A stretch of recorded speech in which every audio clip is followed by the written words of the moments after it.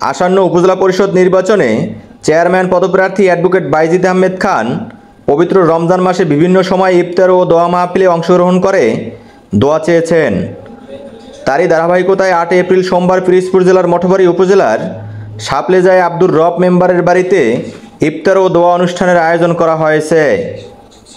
বিভিন্ন সময় ইফতার ও দোয়া মাহফিলে উপস্থিত থেকে চেয়ারম্যান পদপ্রার্থী অ্যাডভোকেট বাইজিদ আহমেদ খান নির্বাচনী প্রচারণায় তার জন্য দোয়া চেয়েছেন মঠবাড়ি উপজেলা আওয়ামী লীগের সভাপতি আলহাজ রফিউদ্দিন আহমেদ ফেরদৌস, সাধারণ সম্পাদক আজিজুল হক সেলিম মাতুব্বর, মঠবাড়ি উপজেলা পরিষদের সাবেক ভাইস চেয়ারম্যান ও আসন্ন উপজেলা পরিষদের ভাইস চেয়ারম্যান পদপ্রার্থী সিদ্দিকুর রহমান বাদশাহ সহ আওয়ামী লীগ অঙ্গ ও সহযোগী সংগঠনের নেতাকর্মীরা।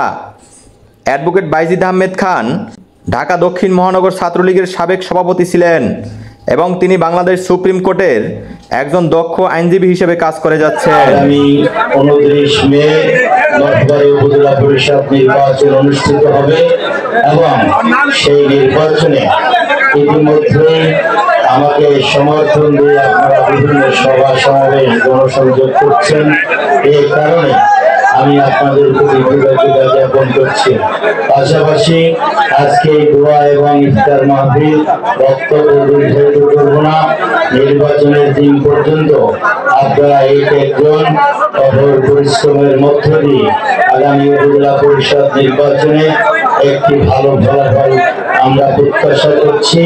সেই লক্ষ্যে আপনারা সকলে ঐক্যবদ্ধভাবে কাজ করবেন। সেই জন্য আপনাদের কাছে বিনীত অনুরোধ করছি।